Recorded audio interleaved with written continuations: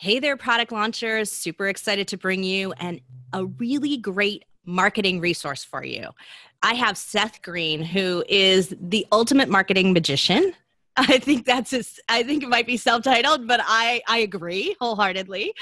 He has seven best-selling books, including uh, Market Domination for Podcasting, which is on the shelves and in Barnes and Noble right now. Yep, there it is.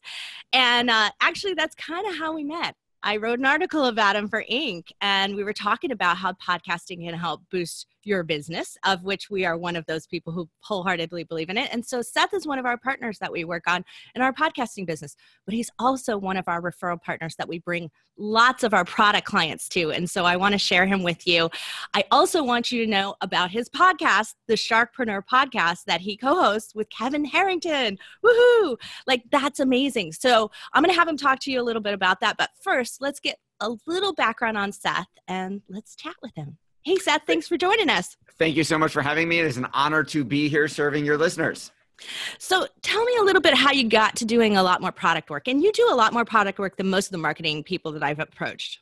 We do. So we drive traffic and conversion, which are the only two things that matter in your business. If you're selling product, you need the right people to see your product, and then you need them to actually buy it.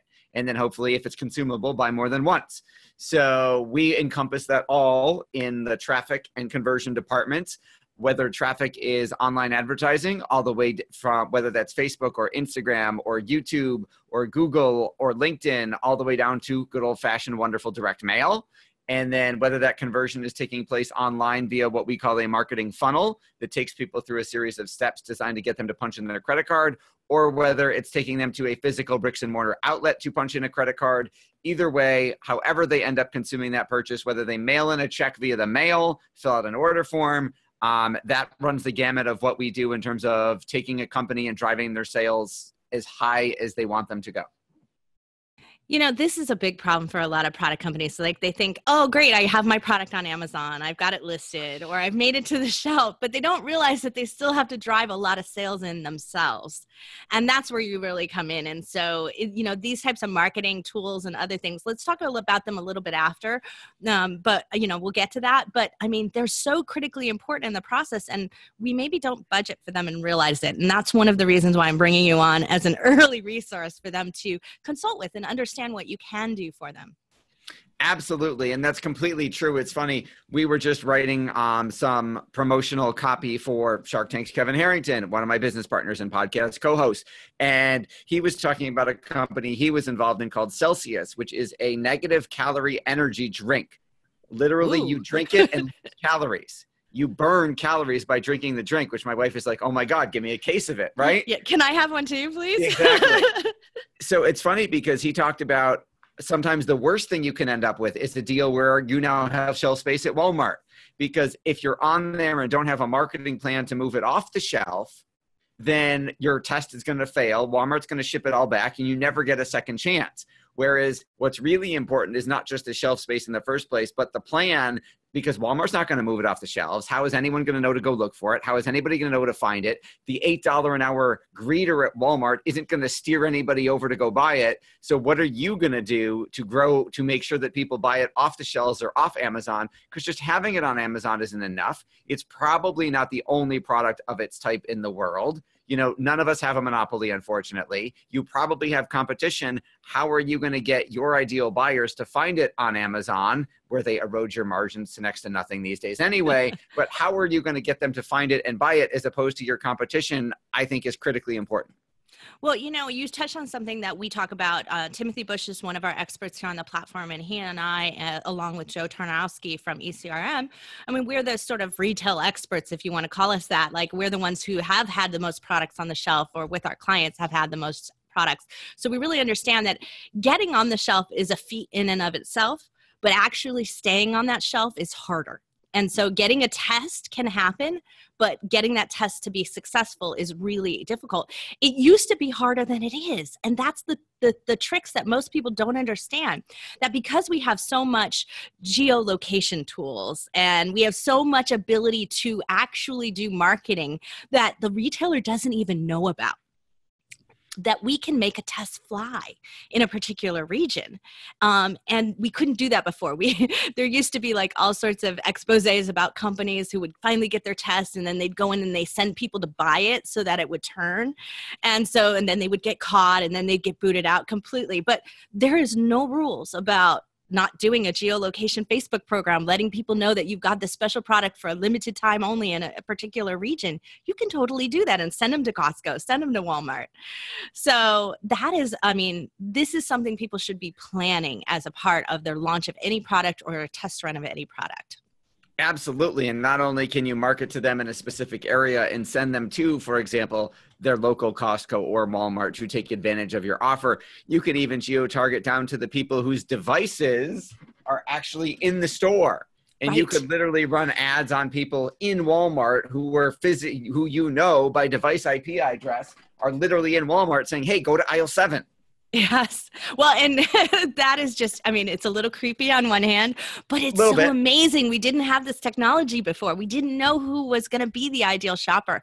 And the other part is that you can drive in the shoppers you want, the ones with the targeted demographic, the ones who, like in your case of negative calorie, want to lose weight, right? Because when it starts working, they're going to rave about it to their friends and they're going to provide those essential reviews that are so hard to get um, that there's too much nefarious programming going on there on that end and so to do it right this is a great way to do that so that's fantastic that you you are experienced on all of that and doing all of that for your clients but let's talk a little bit about Sharkpreneur and, and your relationship with Kevin Harrington. What does that look like, and what can we expect if we listen to and subscribe? And we should to the Sharkpreneur podcast.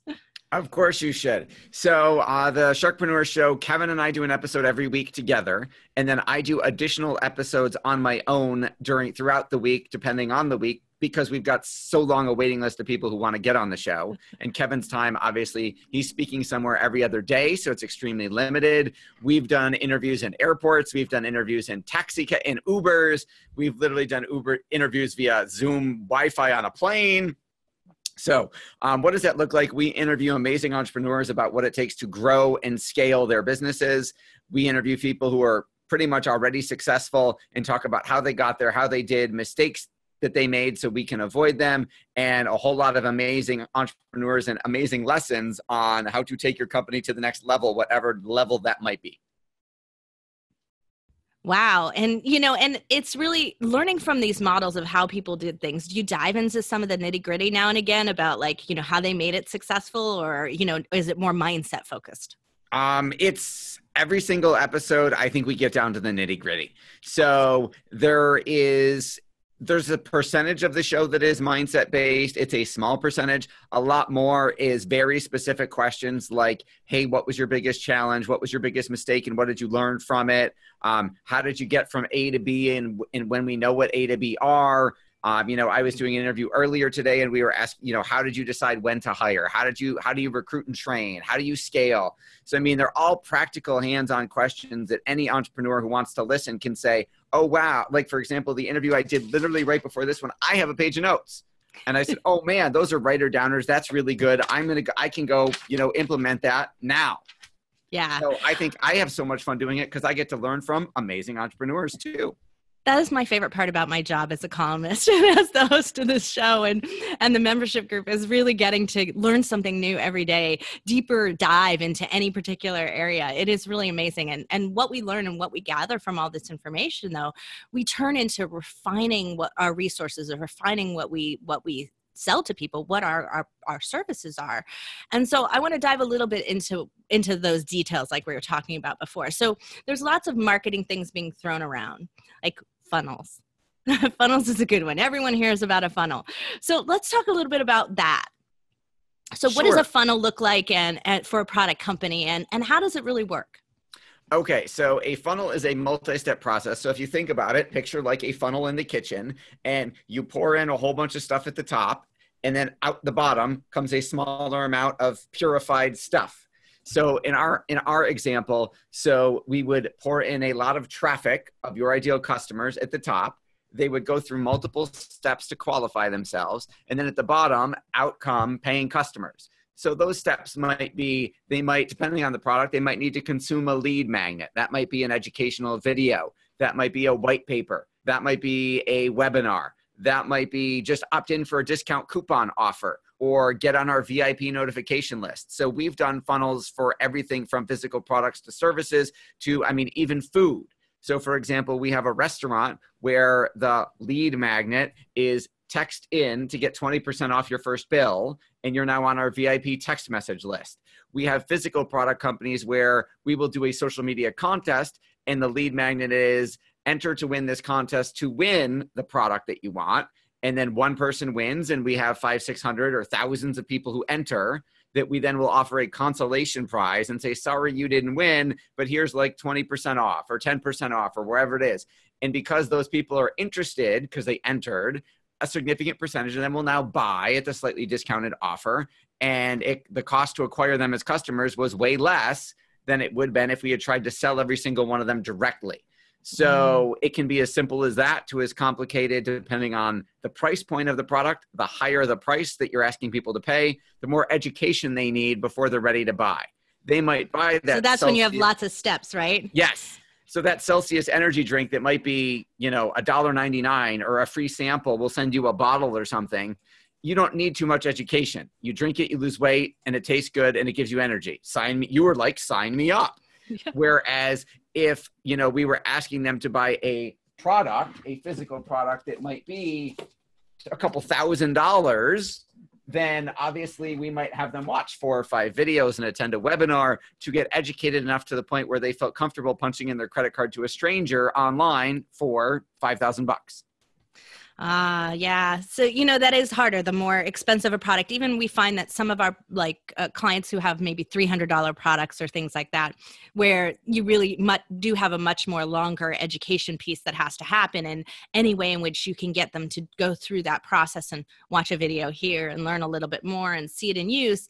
And we try to do it in a service way. I'm sure that you do too. It's like whatever you can, whatever your lead magnets are, whatever those stages are, the more service that they're providing, the more like information informational like so okay you yeah it is a dollar 99 drink and we can give you a sample but you do want to lose weight so can we give you some tips can we give you some of these things and not those things are not that complicated to put together i mean there's lots of wonderful information that most of the companies we have developed their product on and they're not utilizing it they have a lot of assets Right. It's the question of what are those assets and what is the proper, do they need to be rewritten, repurposed? Do they need to be redeveloped? What is the proper psychological formula the number the ways in which those steps are, are, are distributed what is the order of those steps that ultimately stacks those psychological triggers so that people actually take action Ah, let's talk about that because there's a term in marketing called A B testing.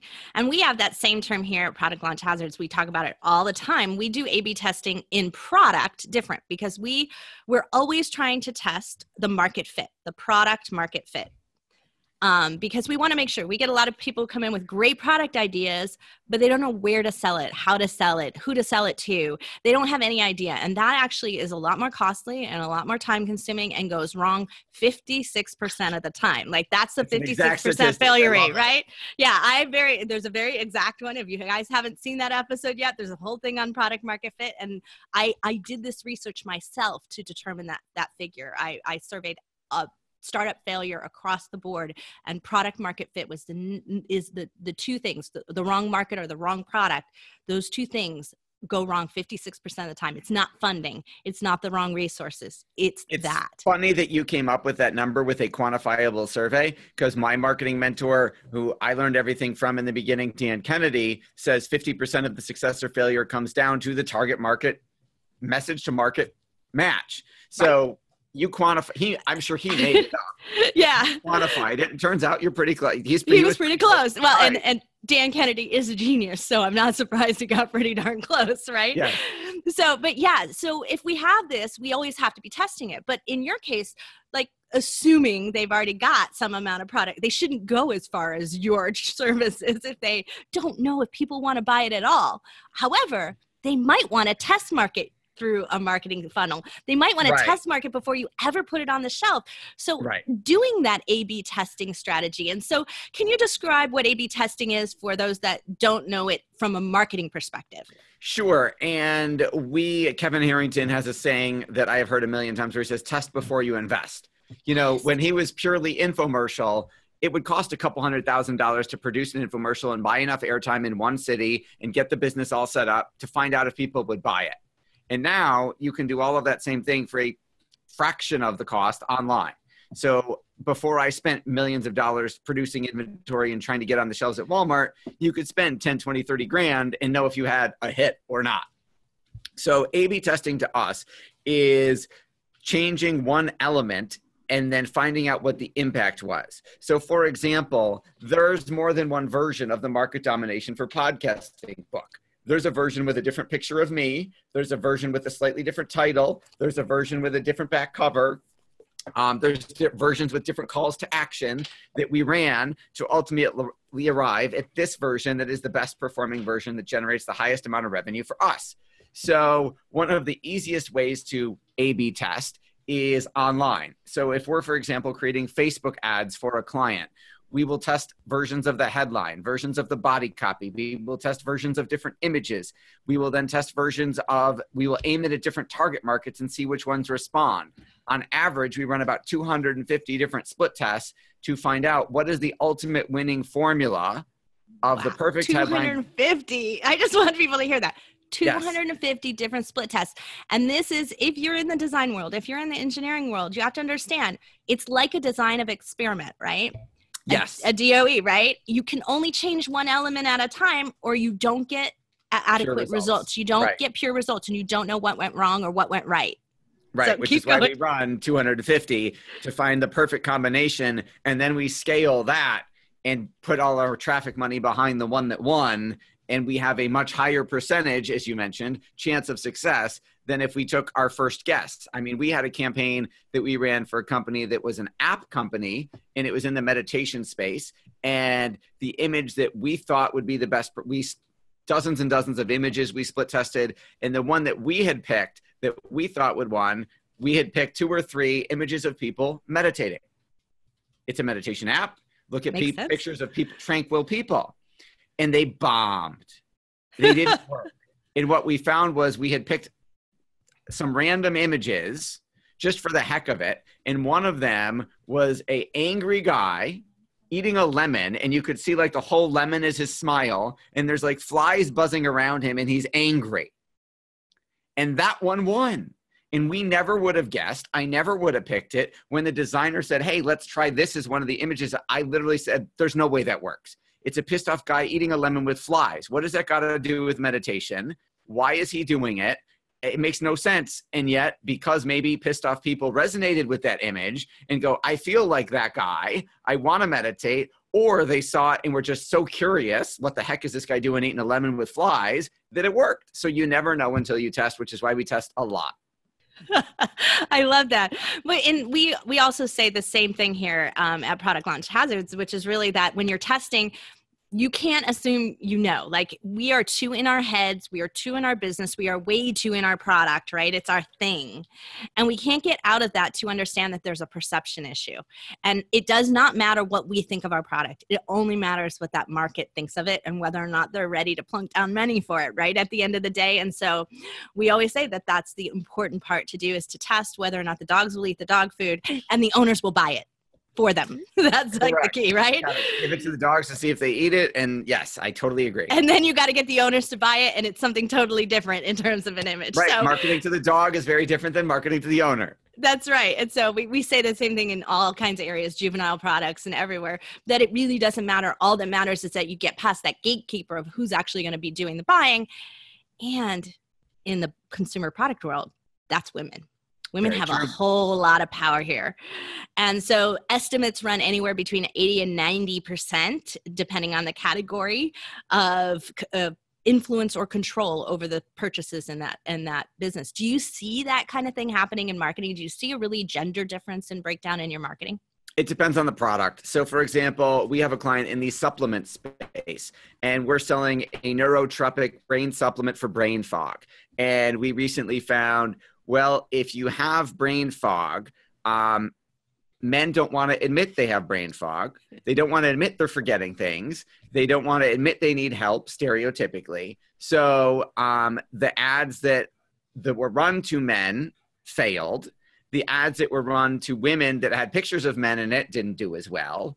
and the ads that are being run to women for themselves and women on behalf of get this for your man magically work. wow. Yeah. So these are things that this is why you have to test because you yes. re- never really know. You may be totally right about your target market, but how you get to them might be a completely different path than you think it's going to be. Absolutely. Well, I would not be selling a directional, you know, before Apple Maps eliminated, you know, Garmin, you know, and gave away their product for free, I wouldn't necessarily have run Garmin ads to men because we don't want to ask for directions, right? Even if it's of a computer until Siri and Apple Maps made it normal that you put your address in, even if you're going somewhere where you know already how to get there. Yeah. Oh, so, so, so, so true. So, besides funnels, what else do you have in your magic hat? the, um, we have what? a lot of things in our magic hat. Um, so, for example, it all depends on where your target market's hanging out. Where are they? That's the most important factor. So, that's going to inform whether we need a funnel or not. That's going to inform what social media platform we're advertising on. You might be advertising on Facebook, or it might be the worst place for you. Maybe you need to be on LinkedIn. Maybe you need to be on Snapchat, depending on the product and the age range of the people that you're going after. So, um, how many steps that funnel takes, what the graphic design of that funnel looks like how it functions on mobile devices. All of that is completely based upon, again, who your target market is. So that's the most important decision is who you're selling to. And then we can start crafting a message that will work and a media for delivering that message. And, you know, I think this is a really good case to mention to everyone out there that if you are looking at an on the shelf model, so if your goal is to be on the shelf somewhere and you're going to utilize SaaS services uh, uh, to do this kind of marketing test in a way, you need to be clear about that from the beginning because if you don't make a match to, let's say, Target's market or Walmart's market or Costco's market, which is slightly upscale. If you're not doing your test in that market that you think you're going to be able to sell in, that information is not going to be as valuable when you go to make a buyer presentation. So that is something you also have to be really clear about that you, you know, and this is one of the reasons that we advocate wholeheartedly that you must have a plan, that you have to have a plan, that you have to know where you're going and who you want to talk to when you get there. And, that is and then test true. that all along the way, yes. right? yes. So I so well, I, I am gonna apologize in advance if I have offended any of your viewers or listeners with this personal experience story, but I went I normally try and avoid shopping at Walmart. Just personal customer service experiences, don't want to go there. And at one point, for whatever reason, my wife had sent me to go to Walmart and she needed something. I think it was a present for a kid's birthday, and it was much cheaper at Walmart than Toys R Us back when Toys R Us was around. She said, No, no, no, just go to Walmart. You only have to get one thing. And I said, Okay, I can handle one thing. And then I realized when I was in there, I need razor blades. So I went to the razor blade section and I am reaching up to the top shelf because the Mach 3 Turbo Gillette, whatever blades that are like 20 bucks, are on the very, very highest shelf. And I'm reaching up to get them and there is a guy next to me and the guy next to me is on his knee like kneeling down to get the very lowest item on the shelf which is the like 12 pack of disposable razors for like 99 cents. And i grab mine he grabs his he stands up. He can't see what i've grabbed because the way i was facing but he looks at me and says holds these things up. I don't total stranger and says you know if they make these things any more expensive i may have to give up and start growing a beard Wow. And yeah. I looked at the 99 cent pack of 12 disposable razors, single blades that he was holding. And I'm like, I have like $20 for like two razor blades. And I'm like, okay, then. And I walked away. So totally different audience, right? And and this is and and this is the thing that we have to understand from the beginning is that are we develop is our product market fit going to be right? And we can't test that product without knowing more about the market and getting more market information. And that's where someone like you really comes in handy. And that's the number one reason why I wanted to bring you on as a resource here for everyone to recognize and understand it, have access to. Um, so let's talk about the one thing that we always do at the end of all of our, our videos here is let's talk about the hazards of product launching. The other hazards, not this one, but we talk about the the biggest failures and the thing, the failure points that you see happen too often when things don't go right with your clients. What what's usually wrong? What what happened earlier on that before you got to them that you that it wasn't able to be successful? Sure, and unfortunately, we nobody's perfect. We do have a few of those. So I'll give you a couple examples. Um, one, we had another app company, and the most significant thing um, that I couldn't get them to do is Facebook will allow you to run app install ads where you pay per app installed on the App Store on iTunes, for example. Well, they refused to do those because they wanted people to get the app on their website and opt in on their website because when you get the app on the iTunes store app store you're not that company's customer you're Apple's customer you don't get the data I which I totally understand why they did it that way but they limited themselves by the fact that people are used to installing apps from an app store and we couldn't run those types of ads. Um, so, so sometimes we have restrictive criteria that yes and, and then the uh, the other one i yes it does. Um, the other one we had was we had a client who had developed a physical direct to consumer product um, and it was in a certain niche we took it to kevin um, kevin tried the pro I, I, tried the product i loved it um, kevin took the product he tried it with his wife. She loved it. He was sold. He said he took it to QVC. Q, he said, I want to do a test on QVC before I do an infomercial. QVC liked it. We did a meeting with the client. QVC said, We'll give you half an hour, prime time, like you will be a millionaire overnight type of spot. But we've done similar products in this space. Your product is higher quality. We freely admit that. But we're used to, our viewers are used to this price point we need you to knock the price down X amount to get to this a comparable it can be premium because it's a better product, but we need to get to this price point. And we knew what the client's margins were, and he could afford to drop to that price point. It would drop his margins a decent chunk, but he would still be profitable. And obviously, selling a ton of units on QVC, leading to an infomercial where they could sell at higher prices. I mean, he'd be set for life. He said no. He said, I refuse to budge my price. It's already for sale in certain physical outlets in this industry at that price. It's in certain catalogs at this price. I won't undercut it, even though it's for a 30 minute test on QVC. So QVC said, I said, you better budge. You're going to blow the deal. This is like, do you want to be a millionaire or not? He said, I'm not budging. QVC said, well, then we're out. And Kevin said, if QVC won't do it, we're out. And we ended our relationship with the client over that and he ended up you know not being successful because he refused to listen so for those of you who don't remember price it is our second phase and our second stage in our in our process so we go so just for your your sake seth in case i'm going to recap it it's prove it price it plan it prototype it protect it produce it and then promote the heck out of it and then profit from it. And then profit I'm from it. Yeah, that's one. the bonus eighth, right? It's funny because we we made an online funnel for that product after QVC and Kevin said no, and we drove traffic, and we had literally I think probably like a thousand people who opted in for the lead magnet, watched the video, watched the consumer guide, and said yes, I want it, but didn't buy. And we emailed, surveyed every single one, and said you liked it enough. You said you wanted it. Why didn't you buy? Every single one of them said too expensive. He still wouldn't listen. Yeah. I said, if yeah. you won't listen to Kevin QVC and your target audience, there's nothing I can do for you. That that's so so true. And and that is where a case why we why we have price it so early in the process because we want that price to not be a market objection, right? So we want to design the product to the target price.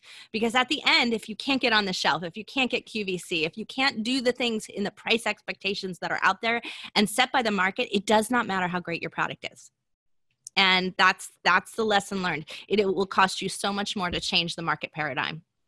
Very true it will cost you a whole lot more to change people's perception than it would be to fix it right in the first place. That's, that's right. why they need the hazards. there you go.